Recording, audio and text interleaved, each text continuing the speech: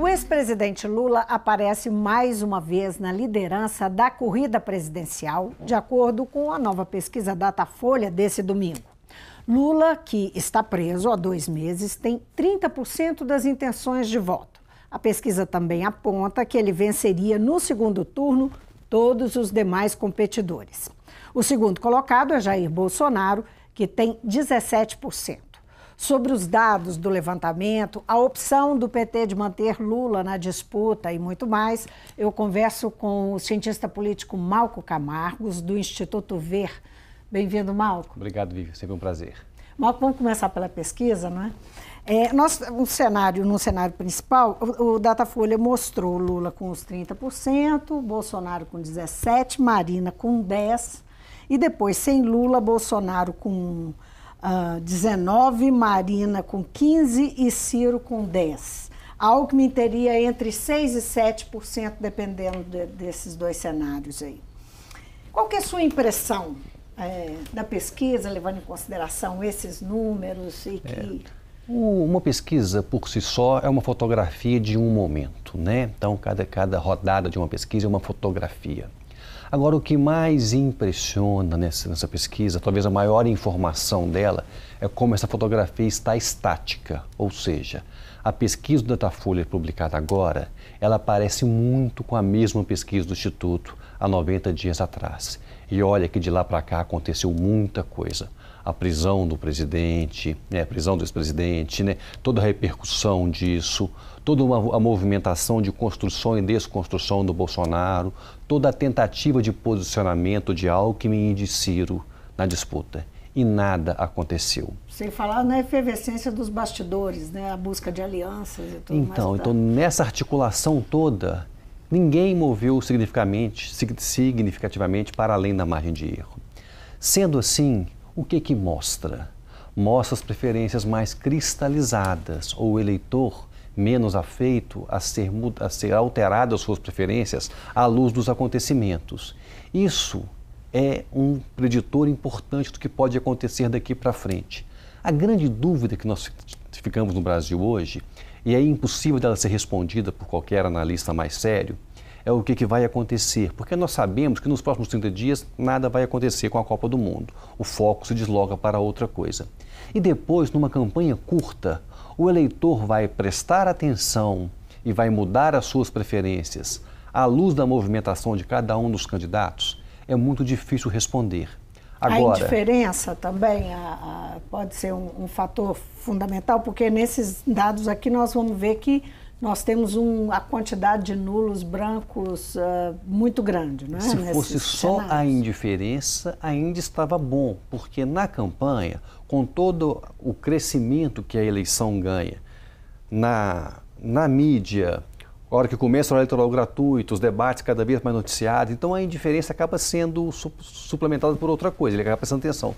Mas o problema do eleitor não é a indiferença, é a repulsa e na repulsa não há ação de comunicação capaz de reverter isso. Ou seja, quando a política entra na TV, quando entra na casa dele, ele muda de assunto ou sai de casa. Então, o não discutir política vai fazer com que as preferências sejam menos afetadas pela campanha. Então, as campanhas importam? Importam, mas têm importado cada vez menos, dado a repulsa que o eleitor está por toda a arena política a, a ausência do Lula, na, nas pesquisas, em cada cenário, a gente vê que a ausência do Lula é, é, aumenta aí 11 pontos percentuais, 12 pontos percentuais, dependendo do cenário. Né?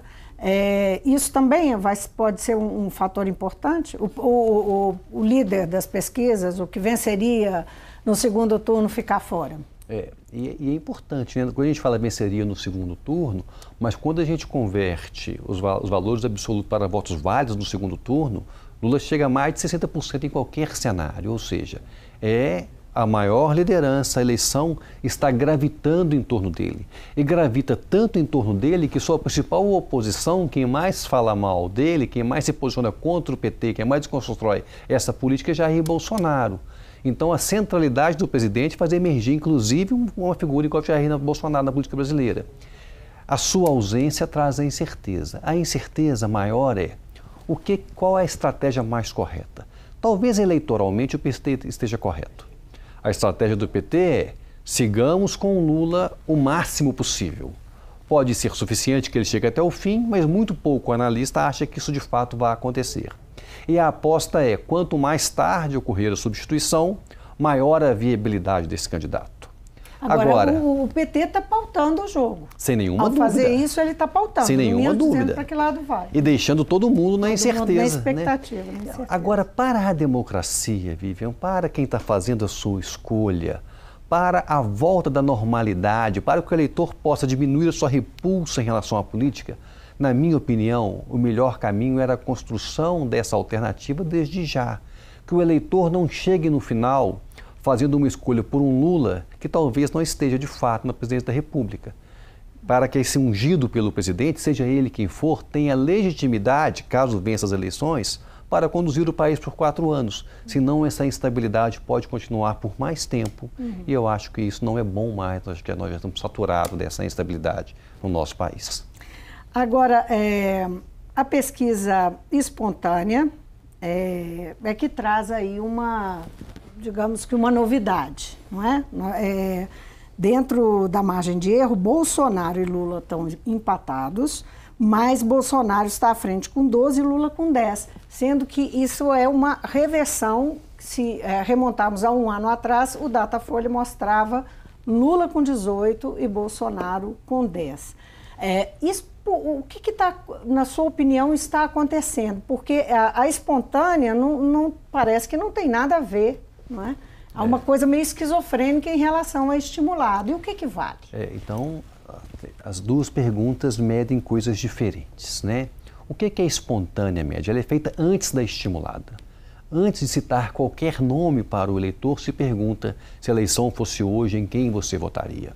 Então, depende do nível de informação do eleitor e depende da presença daquele candidato na mente dele. E é bom lembrar que Lula está dois meses preso, ou seja, tem muito menos informação sobre ele agora do que tinha quando ele estava, por exemplo, no meio da sua caravana, percorrendo o país e ocupando o noticiário. Lula não ocupa mais o noticiário político do Brasil tem dois meses. Então é natural que a espontânea dele diminua. Agora, a estimulada é aquela que vai estimar o resultado da eleição se ela fosse hoje. Nunca é espontânea. A espontânea é um voto mais consolidado. Aqui ele está menos uhum. suscetível aos efeitos de campanha. Mas o resultado da eleição, quando vai se aproximando do pleito, nas vésperas da eleição, a espontânea e a estimulada ficam igualzinha. E não é a estimulada que se aproxima da espontânea, é o contrário. A espontânea que chega perto da estimulada. Sendo assim, o melhor preditor para esse cenário é sim a liderança do ex-presidente Lula.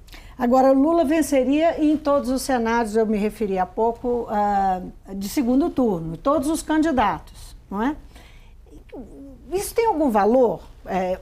Falar em segundo turno, o que, que, que isso é, sinaliza para nós? Normalmente, sim, era para ser super sintomático. Ou ele ganha no primeiro, se caso ele passar para o segundo, ele vence qualquer outro adversário. Então, se as campanhas não tiverem muito efeito, Lula será o presidente da República. Acontece que em 2018 tem algo diferente no ar. Nós não sabemos se ele de fato será o candidato, né? Aí o Datafolha traz dois números também que são bastante interessantes, né? Ele vai trazer o percentual de pessoas que dizem que votariam no candidato do ex-presidente Lula e daqueles que poderiam votar, e chega a quase a 50%, 47% dos eleitores dizem que podem seguir a recomendação do ex-presidente Lula. Este número é mais do que o próprio Lula tem, né? Agora, por que, que isso acontece? Porque aqueles que votam em Lula podem também escolher quem indica ele e outros que não estão escolhendo querem saber qual é essa alternativa para ver se vota nele. Ou seja, tem gente que pode votar no candidato Lula, mas não vota em Lula. Então, é um cenário que vai trazer a centralidade desse ator na sua capacidade de transferência com ainda mais força ele pode sim ser o responsável por fazer o presidente. E quem será essa pessoa? Pode ser qualquer filiado do PT.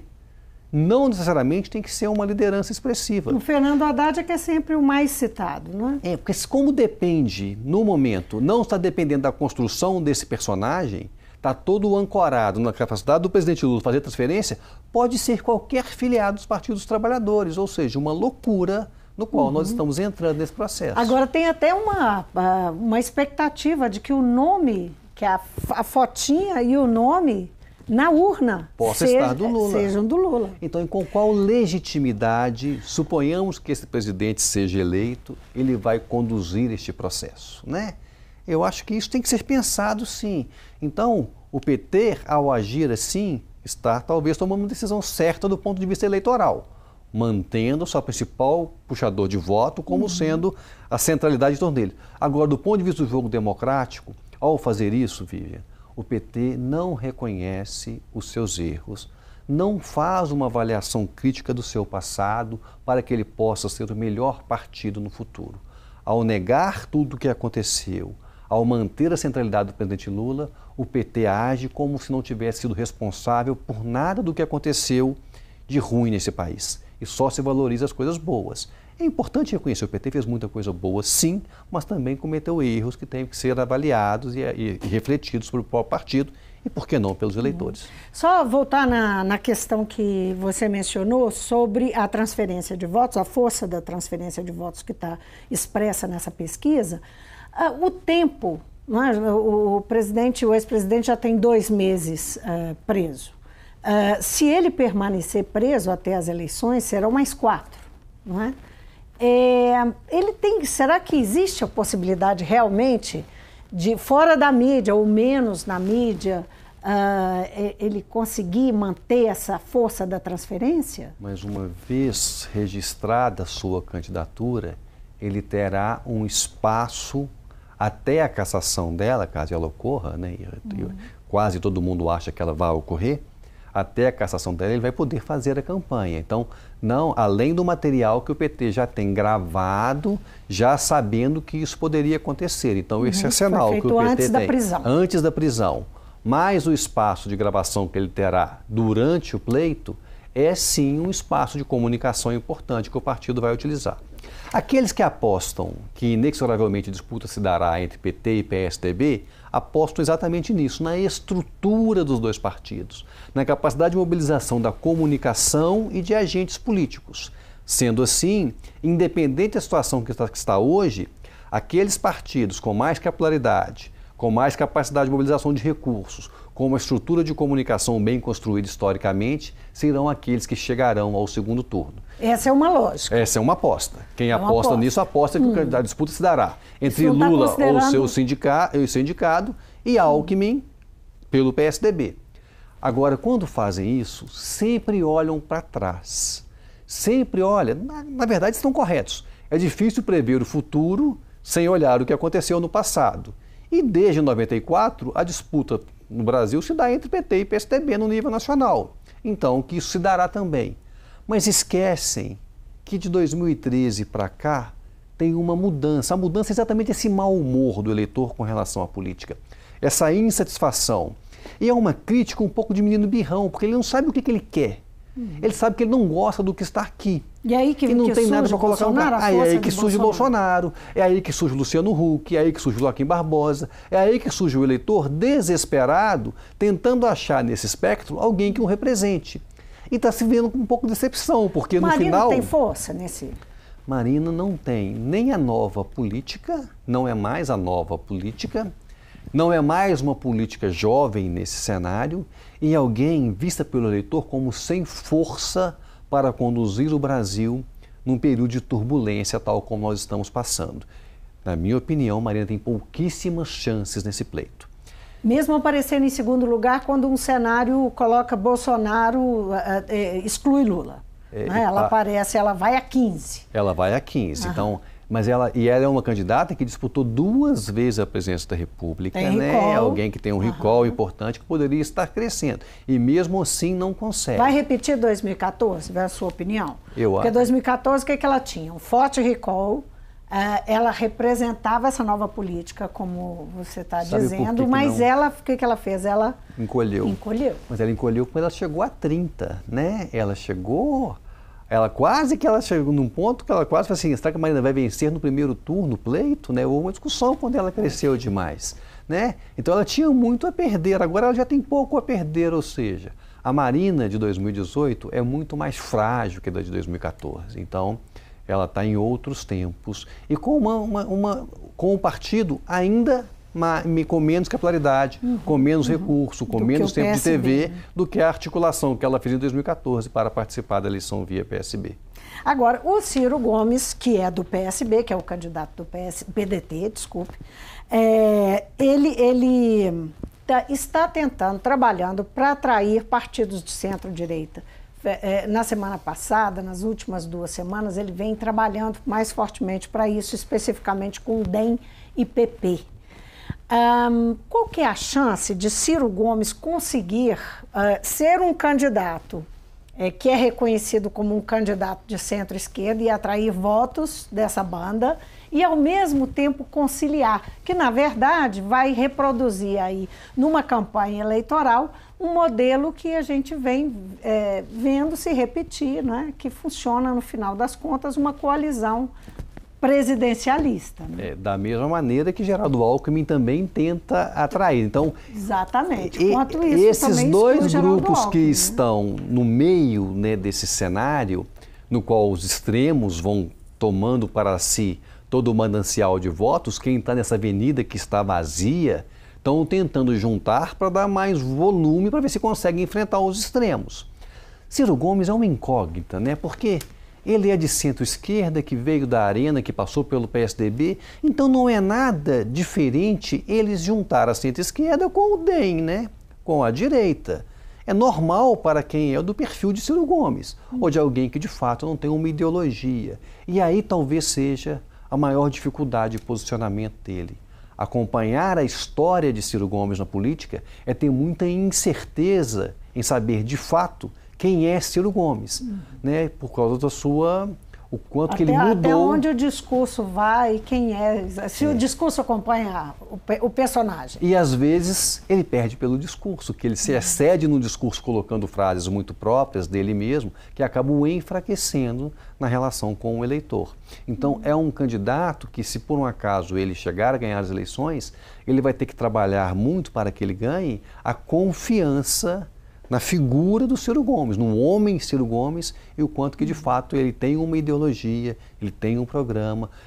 Vídeo que o mercado está dizendo quando ele se aponta como a, ele é a chance de crescer, o mercado diminui a preferência em relação a ele, ou seja, as pessoas se assustam um pouco com a falta de previsibilidade de quem é Ciro Gomes. Agora, ele tem, na sua opinião, ele tem chance de conquistar um naco aí que Alckmin pode perder, né? enfim, é, com os partidos de centro-direita, algo que já perde muito para o Bolsonaro. Né? É, mas eu a acho que o principal naco que o Ciro é Gomes aposta são na herança, é na herança do ex-presidente Lula. Ou seja, uhum. aqueles que vão sair de Lula com uma força no Nordeste grande, o capaz de colocar, então, em vez de escolher, se o candidato for Haddad, por exemplo, alguém que difere muito do perfil do presidente Lula, como ele sendo mais com uma identidade maior do que isso. Dizem nos bastidores que o principal candidato que o PT queria era Jacques Wagner, né? exatamente pela semelhança que Lula tem com Jacques Wagner. Até um pouco física, com a barba, né? até que os dois se parecem, né? os dois do Nordeste, etc. Agora, parece que a recusa é peremptória de Jacques Wagner. Ele não quer ser candidato no lugar de Lula. Então, o que fica todas as fichas para o PT é uma aposta no Haddad. Uhum. O, o, a centro-direita resolveu, uh, se chamando de centro, resolveu lançar o um manifesto semana passada, capitaneado aí pelo uh, o deputado federal Marcos Pestana e o Fernando Henrique Cardoso, uhum. né? e falando em união. É, como é que você vê a possibilidade dessa centro-direita se organizar? Porque o que nós vemos hoje é uma, é uma centro-esquerda e uma centro-direita que não estão organizadas, que não estão conseguindo até agora né, força com, com alianças e tal. Como é que você vê a possibilidade? Não é que estão organizadas, elas estão desorientadas, né? Esse imobilismo dos seus candidatos, seja pelo ele elemento for, Lula, né? Pelo elemento Lula e pelo elemento Bolsonaro do outro uhum. lado, né? Então esse voto, essa essa aderência nos dois extremos, está fazendo com que quem está no meio tente se posicionar primeiro sozinho. Primeiro eles viram, todo mundo tem chance, logo vamos lançar a maior número de candidatos possíveis. E agora estão vendo, ninguém tem chance, precisamos nos unir. Então é uma mudança já a partir da falta de crescimento desses candidatos na pesquisa. corre o risco nós temos um segundo turno com um candidato com 17% e o outro com, com 18% e os outros todos com 7, 5, 6, ou seja, ninguém ganha, né? Então, essa... E uma essa... abstenção e votos brancos e nulos lá, nas alturas. Lá nas alturas, né? E a crise política continuando por mais quatro anos, o eleitor esperando a próxima eleição para ver se o Brasil sai da situação que está. Uhum. Neste cenário, então, a união é algo a se pensar sim. Eles já sabem que cada um sozinho, a chance é muito menor do que se estiverem unidos. Então já mudou o cálculo quando se pensou a janela dos partidos em fevereiro, março, né? Quando teve a janela é, partidária, seis meses antes do pleito. É.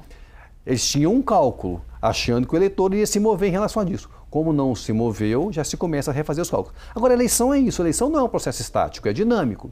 A dinâmica nesse momento é entre as elites partidárias e depois se dá no eleitor. Agora, o eleitor que é o comandante principal desse cenário, é ele que faz as elites moverem e não as elites que movem por si só. Elas movem à luz do que sinaliza o eleitor. Você vê o tanto de tempo, como você disse, né? o tanto de tempo que ele terá para uh, tomar decisões, né? ou não tomar. Né? Ou não tomar decisão. E se não tomar decisão, é levar a eleição para os extremos, que é o que está acontecendo. Vamos falar só um pouquinho de Minas Gerais, vamos porque lá. senão o tempo está curto, por isso que é só um pouquinho, mas não vamos deixar de passar nisso. Como é que você está vendo o cenário é, pra, na disputa, da, né, dessa disputa para o governo de Minas? a gente tem o governador como candidato à reeleição, apesar dele nunca ter dito isso com todas as letras, mas é o que é, é o tudo indica. É, e, mas ele tem um punhado de adversários, alguns é, parece que bastante fortes e muitos problemas. Qual é. que é a sua impressão? Temos que separar, né? Então, é, ao que tudo indica, Minas vai se polarizar, tal como aconteceu nas eleições anteriores entre PT e PSDB. Né? a presença do Anastasia, né? A presença do Anastasia na disputa faz com que seja natural o embate entre esses dois atores. Num cenário que, se Fernando Pimentel acertou na sua comunicação, foi no início do seu governo, quando ele conseguiu desconstruir o legado de eficiência administrativa do PSDB. Aquilo que o PSDB trouxe por 16 anos no Estado, de repente o eleitor viu que não é tão assim. Então, é, essa, essa comunicação foi muito eficiente. E o que faltou para o Fernando Pimentel? Construir a sua imagem no lugar. Isso ele não conseguiu fazer neste tempo. Então, nós vamos viver uma eleição de duas não escolhas. O eleitor não quer de volta o PSDB tal como foi e também não quer muito esse governo mais. Mas ele não terá escolhas, ou não, tem que buscar uma terceira Lacerda. via. Então ele vai ter que buscar ou o Márcio Lacerda, que é um prefeito que saiu da capital no seu segundo mandato, achava que estaria muito melhor do que estava no primeiro e não aconteceu. Ele foi o melhor prefeito pela avaliação no primeiro mandato do que no segundo.